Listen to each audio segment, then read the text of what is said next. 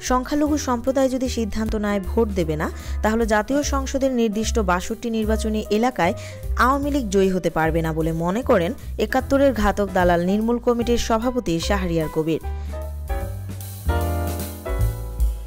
আওয়ামী লীগের উদ্দেশ্যে শাহরিয়ার কবির বলেন, আপনারা আবার নির্বাচনের প্রস্তুতি নিচ্ছেন। কি জবাব দিবেন বাংলাদেশের সংখ্যালঘু জনগোষ্ঠীকে? আপনাদের বলতে হবে যে প্রতিশ্রুতি দিয়েছিলাম রক্ষা করে নেই। বাষট্টিটি নির্বাচনী এলাকা আছে, যদি সংখ্যালঘু সম্প্রদায় সিদ্ধান্ত নেয় যে আওয়ামী লীগকে ভোট দেবে না, এসব নির্বাচনী এলাকা থেকে আপনারা নির্বাচিত হতে পারবেন না।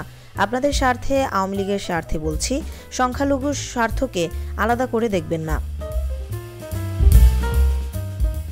অব্যাহত শিক্ষক নির্যাতন, নিপীড়ন ও হত্যার প্রতিবাদে উদিচি শিল্পী গোষ্ঠীর প্রতিবাদী সাংস্কৃতিক সমাবেশে এসব কথা বলেন শাহরিয়ার কবির।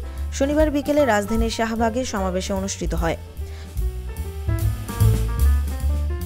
সমাবেশ থেকে শাহরিয়ার কবির ক্ষমতাসীন আওয়ামী লীগের নির্বাচনী প্রতিশ্রুতি অনুযায়ী সংখ্যালঘু কমিশন গঠনের দাবি জানান।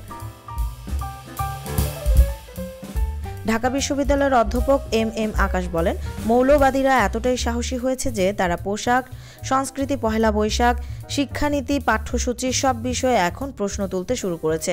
সামনে নির্বাচন, রাষ্ট্র এখন কিছুই করবে না। কয়েকজন বুদ্ধিজীবীর ভোটের চেয়ে হেফাজতের ভোট তাদের কাছে গুরুত্বপূর্ণ।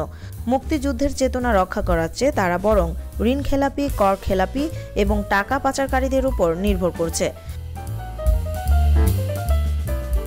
শুধু রাস্তাঘাট বানালেই চলবে না উল্লেখ করে মুন্সীগঞ্জে নির্যাতিত শিক্ষক হৃদয়চন্দ্র মণ্ডল বলেন, মানুষ মরে যাবে, কিন্তু মনুষ্যত্ব যদি মরে যায়, জাতি হিসেবে আমরা টিকে থাকতে পারব না।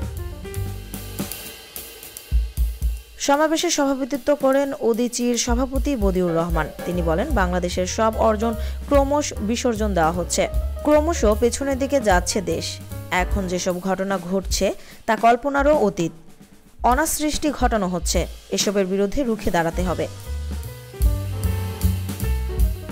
উদিচির পাশাপাশি মহিলা পরিষদ, খেলাঘর, প্রজন্ম একাত্তর, চারণ সাংস্কৃতিক কেন্দ্র সহ বিভিন্ন সংগঠনের নেতারা বক্তব্য দেন। সমাবেশে বক্তব্যের ফাঁকে ফাঁকে গান ও আবৃত্তি শোনান উদিচির শিল্পীরা।